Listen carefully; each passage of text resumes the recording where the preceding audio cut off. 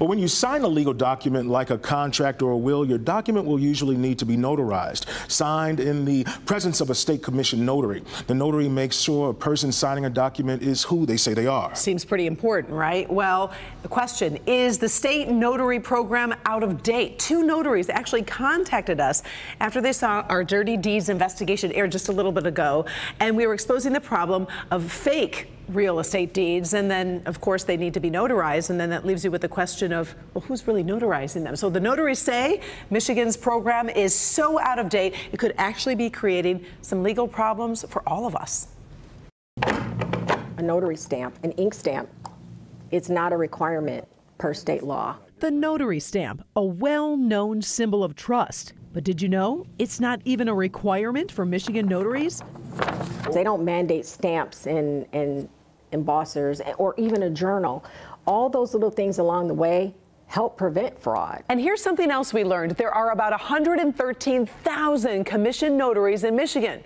But the state doesn't have a numbered notary identification system, and this can make things really confusing. Let me show you. There are five notaries in Michigan named William Jackson, four notaries by the name of David Smith, and that's just in Oakland County. There are five more notaries named David Smith around the state.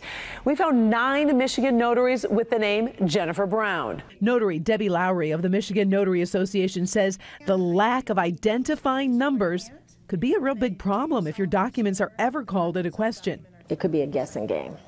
Other states have commission numbers. I, I don't know why we couldn't en enact it here. It's just another layer of fraud protection. And nowhere in the state rules does it say that notaries have to be trained. Suppose you write a will and you have it signed, notarized, and then filed with the county. It could take years before your family discovers any problems with how it's notarized. There are mistakes that happen because notaries aren't trained. Many times, banks or courts just reject improperly notarized documents. When someone in Monroe County tried to register a legitimate property deed, the county rejected it, explaining numerous problems with how it was notarized. And in Oakland County, one third of deed rejections are notary related.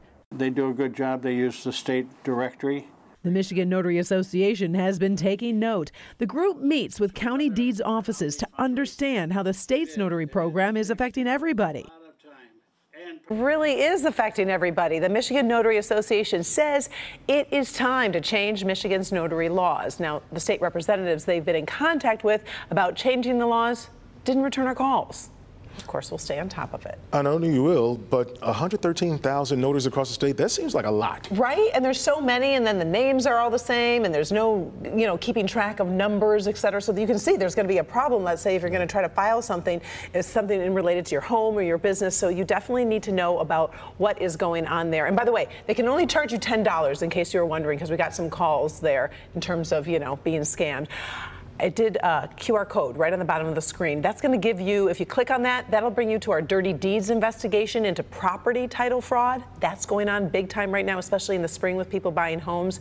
And after seeing that investigation, that's when the notaries started calling and emailing me. Yeah. So it opened up the door to other issues. So if you're having issues, reach out to us. We will definitely check into it for Something you. Something tells me you're going to be hearing from more notaries. Yeah, I bet we will. Unfortunately, yeah. I bet we will. Yeah.